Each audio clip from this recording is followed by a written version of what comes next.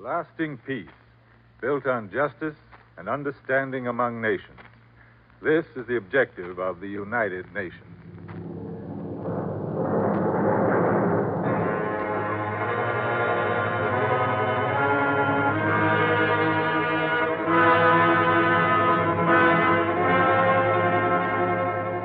This is the second program in the United Nations series of the Pacific Story, one of the five special series presented by the National Broadcasting Company and its affiliated stations to further world unity and world peace through understanding.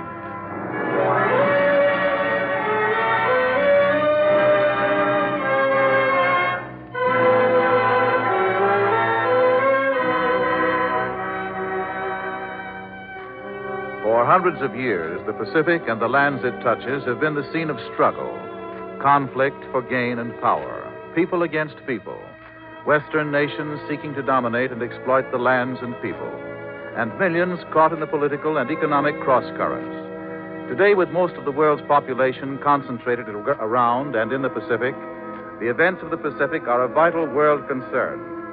The Pacific Story dedicates this series to the objective of the United Nations lasting peace built on justice and understanding among nations.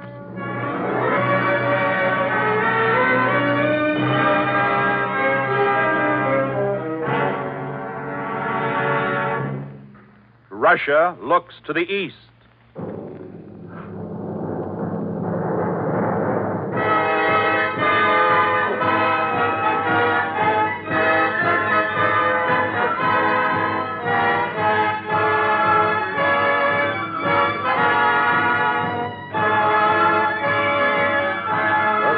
Yes, of course. Iran question. Britain. United States. Oil. United Nations. You comrades can shout about Iran and the United Nations and Britain all you want. But take it from me.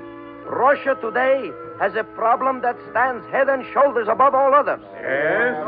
What is that, Karov? Tell us, Karov. It is building. No. I agree with Comrade Karov. Rebuilding our bomb-shattered cities is our biggest problem in Russia today. I don't mean merely rebuilding our bomb cities, which is a tremendous problem in itself, but the building of new cities in the east, which Russia faces today as the industrial land and shipping routes of tomorrow.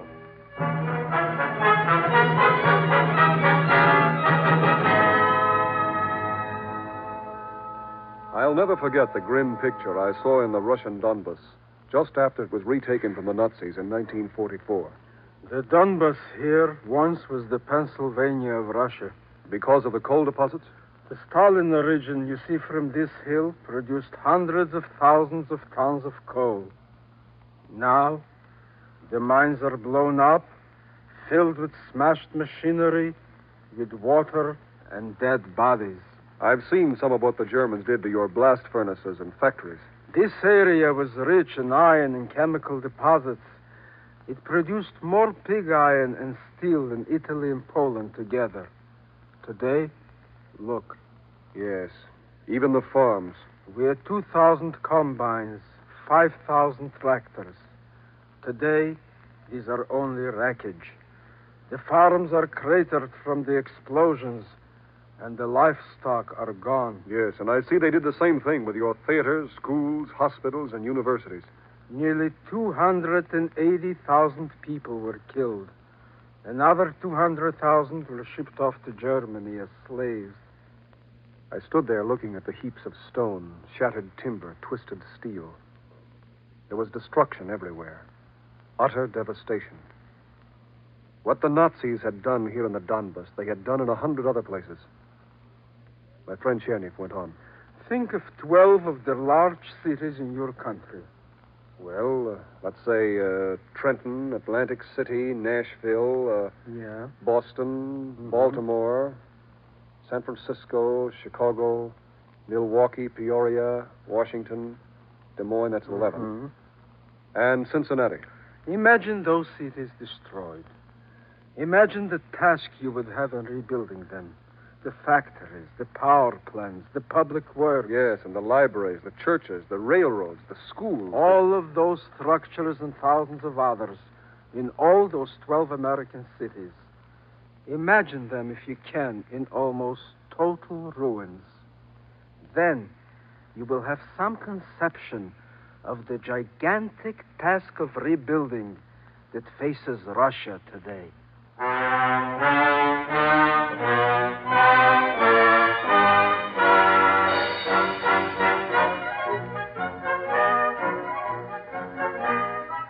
I revisited the Donbas area, hardly more than two years after my first visit, I saw plenty of evidence that Russia can rebuild her cities.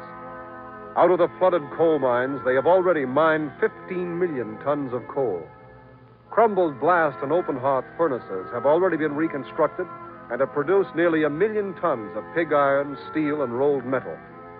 Almost miraculously, electric power stations have already been restored, railroads rebuilt, and schools and universities reopened.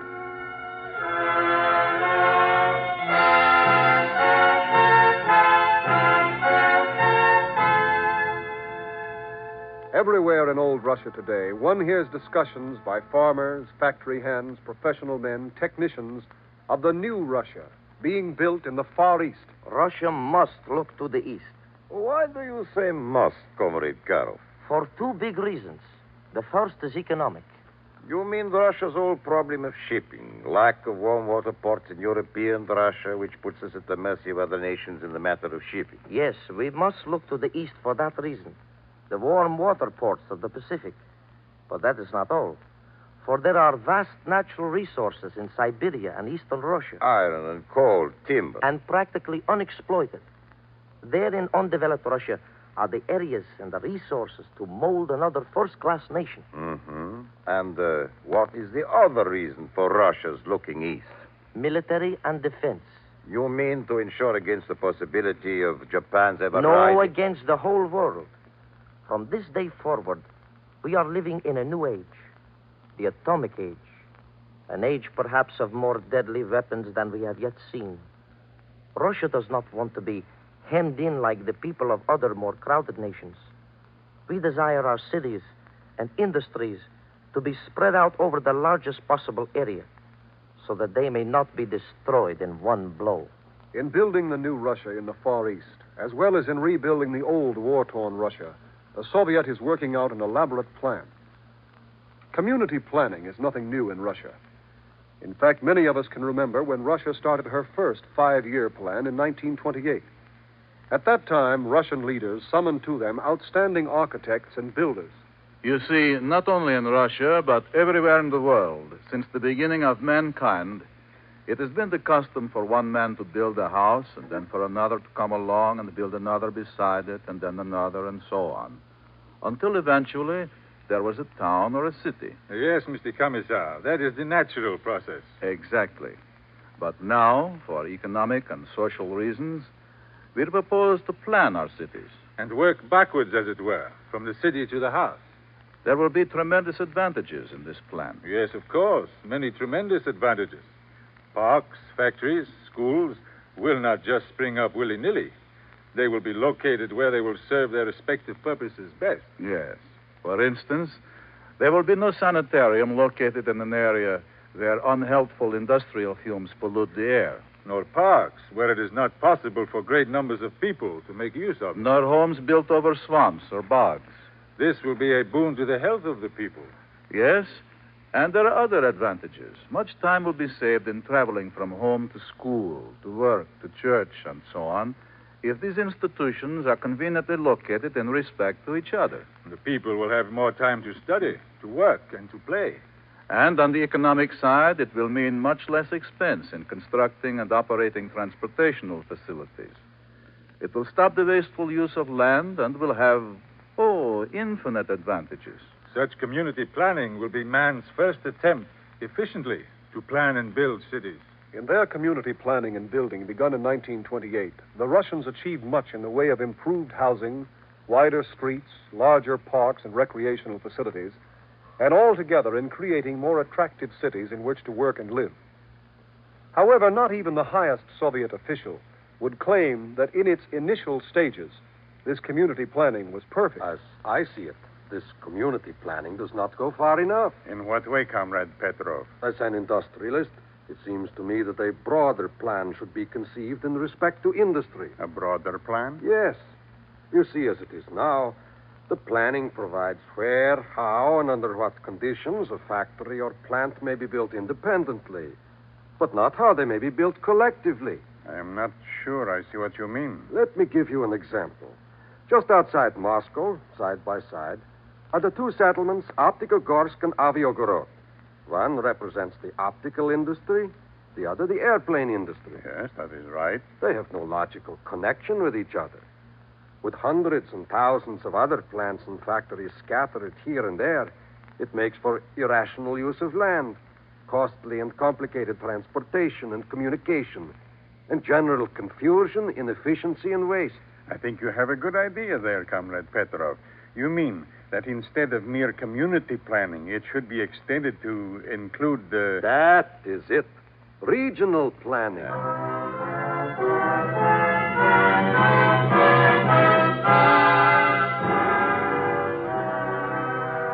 Before the war, Russian planners and builders were beginning to see that far greater efficiencies and benefits might be achieved by carrying community planning a step further to regional planning. The war, with its devastation wrought upon Russia, drove the lesson home with accentuating force.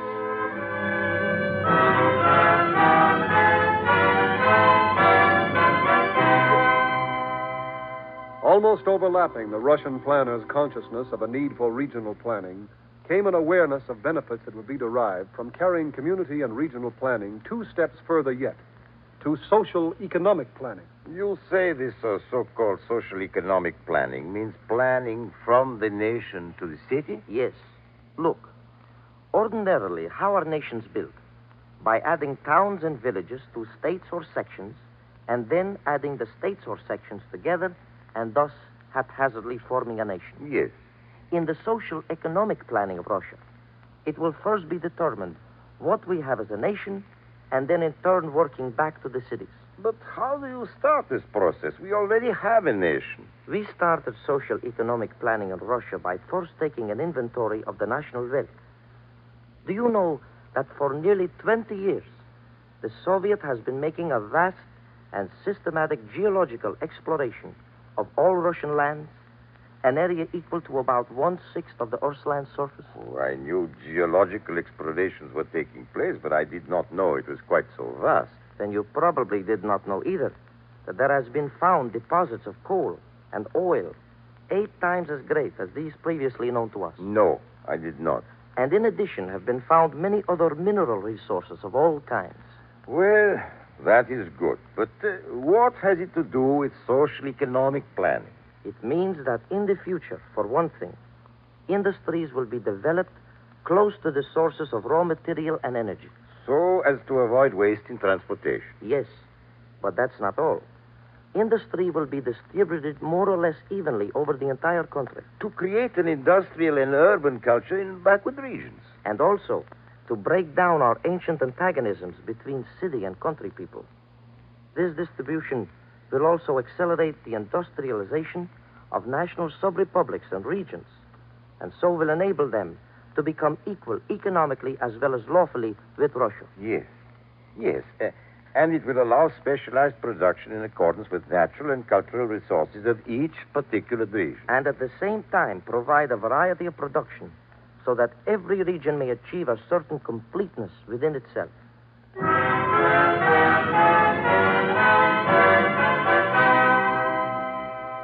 One of the very important phases of social economic planning in Russia is water power. I talked about this with my friend Cherniv. We have in our many mighty rivers much potential power. As you know, for some years before the war, we were making every effort to harness these rivers. Now that the war is over, our efforts will be redoubled. You are planning the power projects in conformity with social economic planning, of course. Can you cite any examples? Uh, there was the famous Dnieper Dam, now destroyed. But which will be reconstructed? Oh, yes. Before it was destroyed, the Dnieper Dam transformed the sleepy little town of Zaporozhye into a modern industrial city of 300,000 inhabitants, largely by the industries its presence created. And the Dnieper Dam was only one of many planned. It was only the first of eight planned, not only for power and navigation, but also for the drainage of over a million acres of swampland on the upper reaches of the river, and for irrigation of an equal territory of arid steppes in the Crimea. Were any dams planned in the east, in Asiatic Russia? Not only planned, many are already in use. In Central Asia, you see, agriculture is entirely dependent upon irrigation, and hundreds of thousands of acres of steppe lands have been turned into wheat and cotton fields, orchards, vineyards, by the construction of dams on the Chirchik in Uzbekistan and on the Vakhsh in Tajikistan. Well, uh, what about water power plans for the Volga? The Volga will provide the power for Russia's most ambitious project. This project will consist of nine dams on the river itself and eight more on its main tributaries. That's a lot of dams. Are these large dams as we know dams today?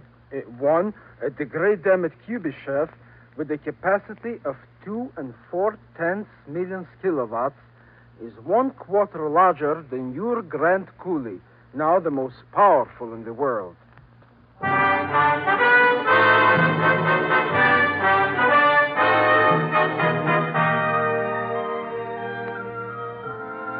I learned that the Russians are great believers in central heating, which they incorporate in their planning and building. 85% of all buildings in Moscow are heated by centralized heating plants known as TEPs. These TEPs are sometimes built in isolated areas where fuels such as lignites, peat, and oil shales are found in abundance. The peat bogs near Gorky, for example, give rise to the paperworks of Balakhna and to a whole new city built to house the employees of these works.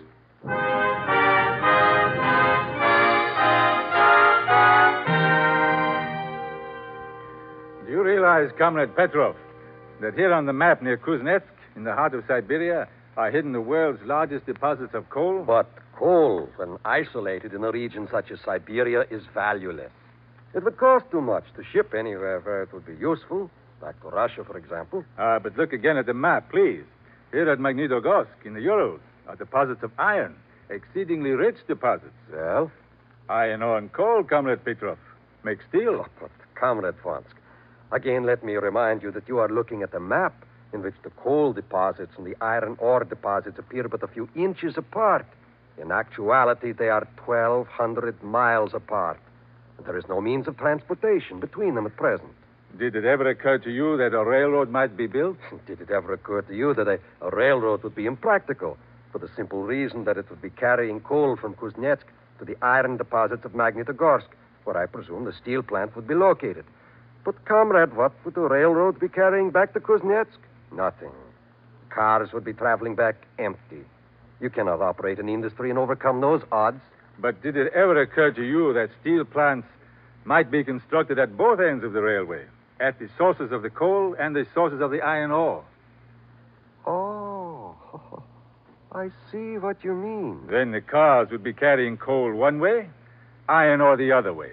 And so it was that the UKK, Ural Kuznets Kombinat, resulted in the creation of a basis for heavy industry in Russia's east. As an interesting sidelight, it happened that. You were right in your planning, Comrade Vansk. More than right. For the inhabitation of these two remote regions have led to further explorations and further discoveries. But of course, I cannot take credit for the fact that rich deposits of coal have since been found only 300 miles from Magnitogorsk, and that iron ore has also been found in the Altai Mountains beyond Kuznetsk. These discoveries were both just pure luck. At any rate, now both ends of the railroad have become quite independent of each other, both the thriving steel centers. And it was the steel of the UKK which furnished the weapons for our gallant defenders at Stalingrad.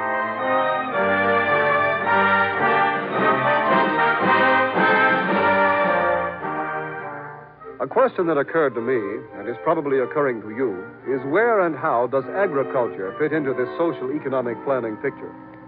My friend Cherniev was very helpful in not only explaining this phase of the planning, but took me personally on a visit to what he called an MTS. Machine Tractor Station are what the letters stand for. Uh, what is it? A plant where tractors and farm machinery are built? With all these shops and tools and mechanics about, it looks like a small edition of Willow Run. Uh, These uh, MTSs are not factories or plants. They are merely maintenance plants, furnishing and servicing tractors and other modern farm equipment for use on the farms in the area. Well, you mean the farms don't have their own tractors and machines, but instead rely upon these we see being serviced here now? Uh, that is right. It's the Russian theory that tractors and farm machinery is a job for mechanics and not farmers. And these MTSs are scattered all over the rural areas, the length and breadth of Russia. Yes, about 6,000 in all. I see women and children about, too, and others who don't appear to be engaged in repairing farm machinery. Who are they? Oh, you'll find all kinds of people around. Because the MTSs are also the centers of agriculture sciences and of cultural and political life for the entire region. With such a plan under your Russian social economic planning, food must be something of a problem. Uh, food has been a problem, especially in the northern regions where most of our industrial expansion has been taking place. For until recently, it was impossible to grow wheat in the north. Consequently, the shipping cost of wheat was a great burden upon our economy. Until recently. You mean you Russians have now learned to grow wheat in the north? Yes, it required much research and experimentation, but we have developed varieties not only of grain, but also of vegetables and fruit, which will grow in the hard climates of the north and east, even beyond the Arctic Circle.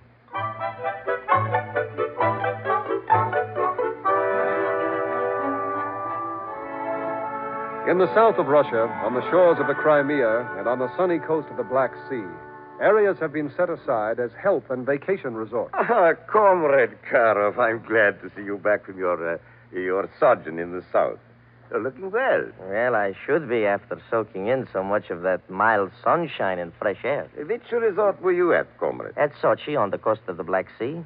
Ah, the mountains, the forests, the sulfur springs. You should go there yourself. Yes, yes. Uh, is it a large space? Oh, about 40,000 acres. It stretches in length some 25 miles. It is laid out wisely and magnificently. There are different zones, you see, for different types of guests and patients the climatic therapeutic zone, the climatic prophylactic zone, and the bathing climatic zone. If you need peace and quiet, you go to one zone. If you need life and gaiety, to another zone, and so forth. Well, such a large space must accommodate many people, hmm? Hmm, about 25,000 transients. Is there work to do there? There are farms and orchards and light processing plants and factories where one may work to pay for his board if he is not seriously ill or is a convalescent. But it is light and pleasant work with short hours.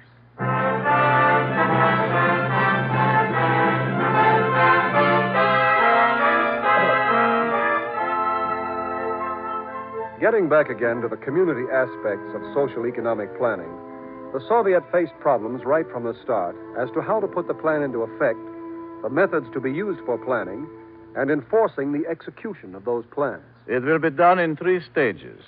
First, the investigation. This, I presume, will embrace collecting pertinent data and facts about an area. Correct. The second stage will be the scheme, essentially a land use plan. That is, dividing or defining various areas and sections of a community into zones, industrial, residential, and so forth. That's right. And the third will be the plan. For the actual construction? Yes. It will include only those items of construction that immediately or in the near future will be undertaken, the essential ones. I mean by this, there will also be numerous items, plans for which cannot be drawn up right from the start. But even such future items of construction will have to conform to the original basic scheme. How will this scheme be enforced? Simply enough, by two agencies. First, the City Land Department, which holds all the land within the city limits, I see. and the Municipal Building Control, which issues all building permits. I see. But what about ownership of buildings? That will go on just as before. In the hands of the city will be all public utilities, means of transportation, and schools. The city will continue also to own many of the dwelling houses, stores, shops, theaters, and so forth. But some will still be owned by the state, as are most industrial buildings and colleges. Each city, I suppose, will have an architect planner to aid and advise it. At first, that will not be possible, not until the Soviet is able to train many architect planners. However, there will be absolute cooperation between the state planners and the city officials to guide all community activities toward the full realization of the plan.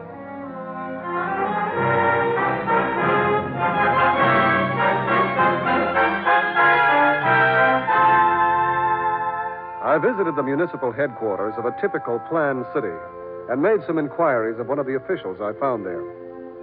Uh, these model cities you've constructed on these tables are very interesting. Yes.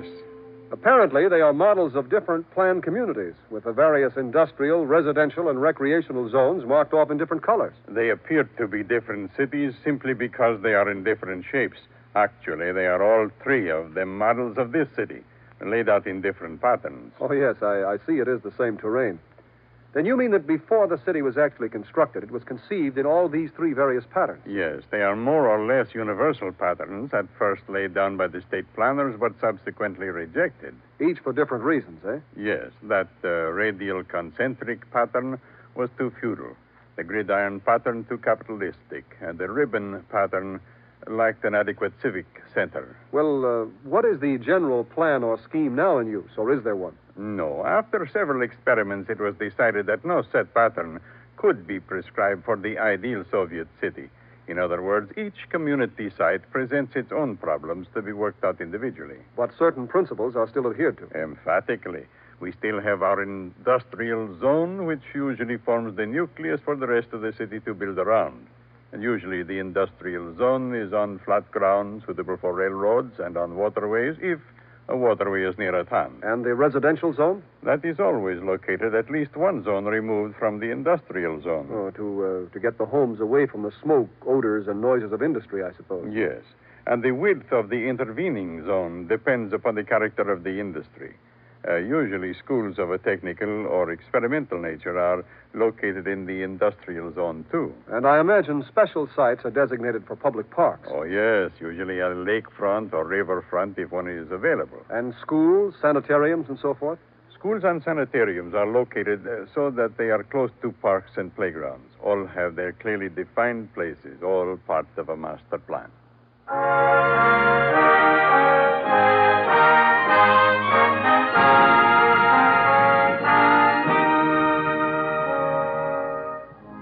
Russia is still nursing her Nazi wounds, but they are healing fast. Many Russian cities are still rubble and ashes, but they are already a building again. In the last two decades, Russia has learned not only how to build, but where to build. She intends to use this knowledge in rebuilding the old Russia and in building the new Russia in the East.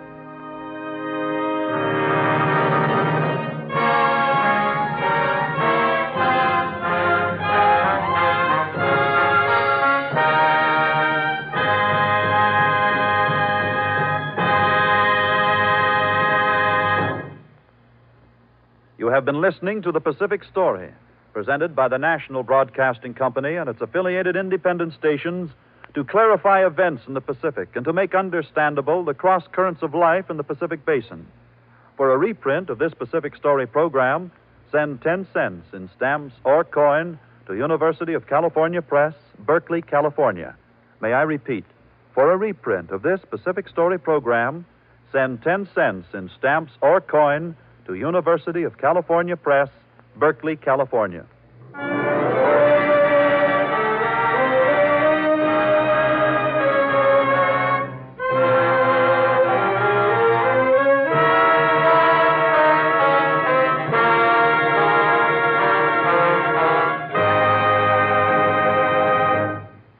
The Pacific Story is produced and directed by Arnold Marquis. The original musical score was composed and conducted by Thomas Peluso. The principal voice was that of True Boardman.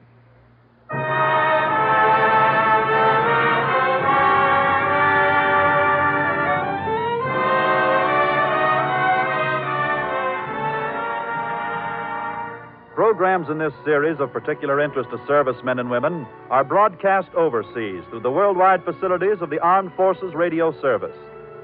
Ladies and gentlemen, by this time everyone knows the buying of U.S. savings bonds is a measure against inflation.